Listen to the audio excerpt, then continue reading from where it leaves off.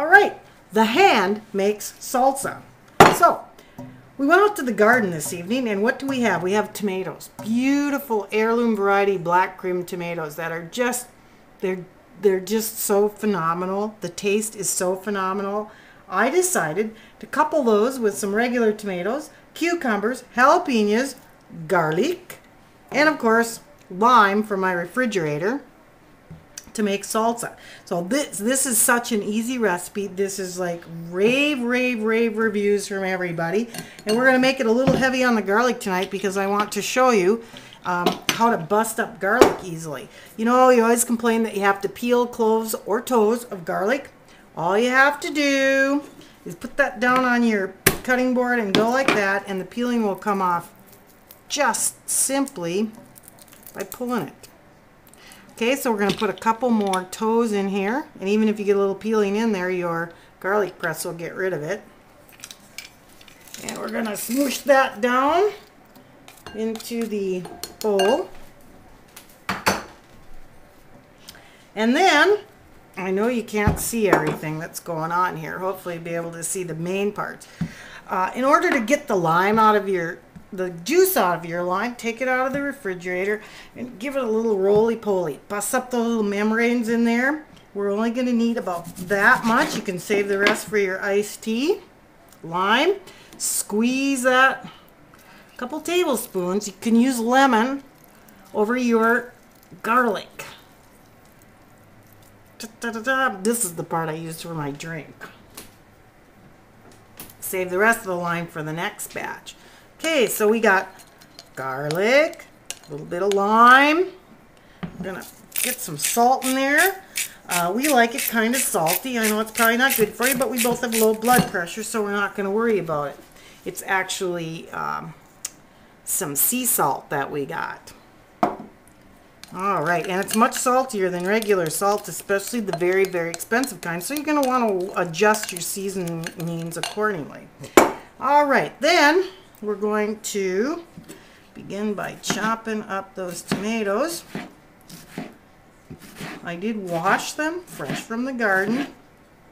And I'm not kidding you about these tomatoes. I'm so excited to start next year's batch.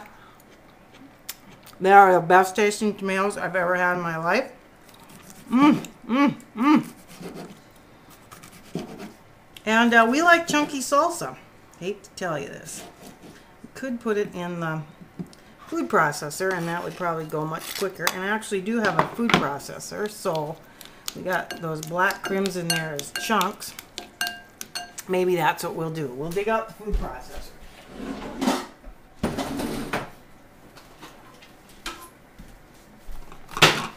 It's brand new and I love it. I do not have electricity here.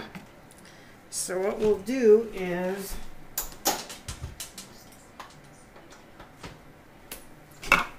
fill the basket. And what you want to do to make everything go a little quicker, easier, is you'll notice I do not peel them, nor do I cut too much off the top of the tomato because we hate to waste the tomato. But you want to cut the tomato into chunks um, and put it in there pretty much even sized chunks. Before I use the last semi-ripe tomato there. I'm going to use these other ones. And you can trim off whatever you want. Don't cut yourself.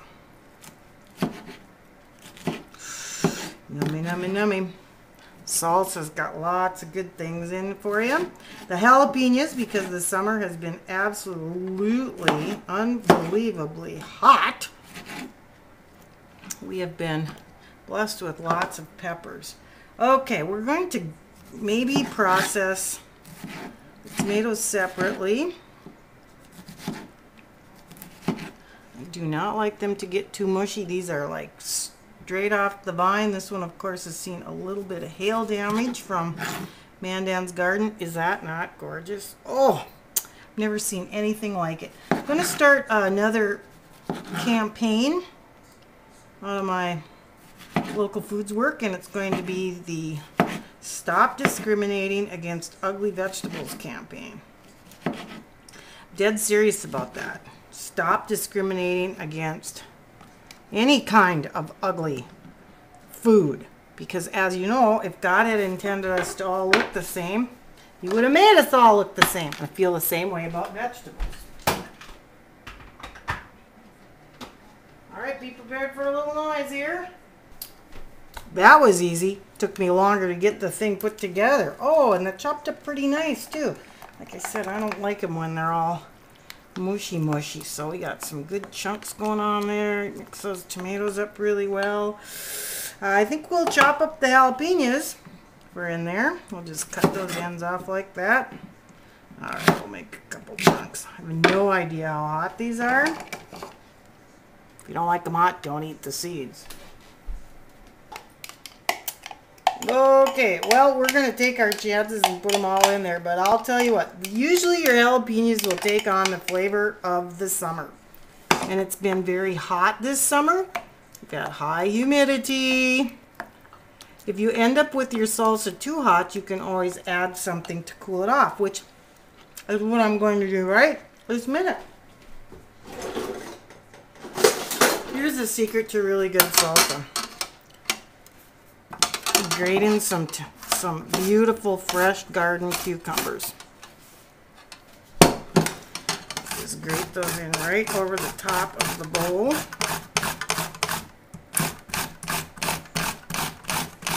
Yep, I buy kitchen utensils at the thrift store. You get the best ones.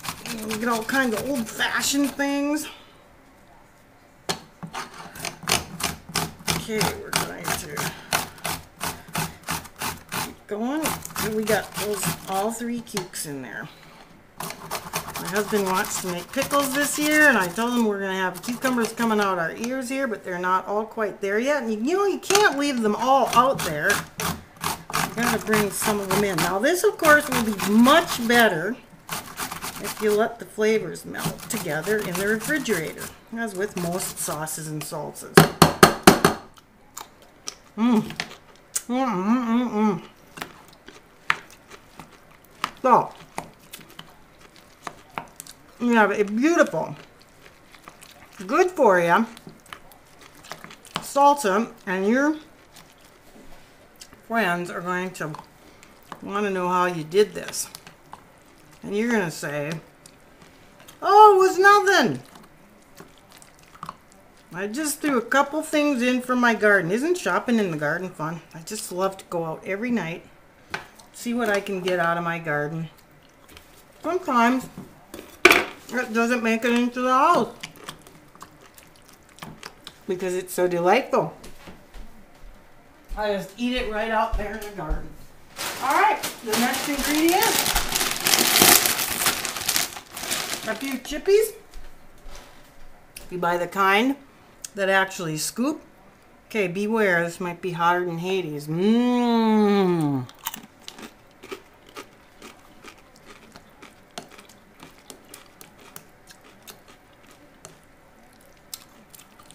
Yep.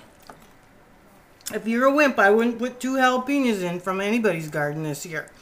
You let it set. Eventually, the coolness of the cucumbers will soak up the juice from the tomatoes and you get a fairly um, thick salsa. And this is absolutely phenomenal on tacos and for dipping. And so we're going to put it away for a while, let it chill, and Mmm. Mmm, mmm, mmm, mmm. Have a delightful summer supper. Until next time, these are the cooking hands.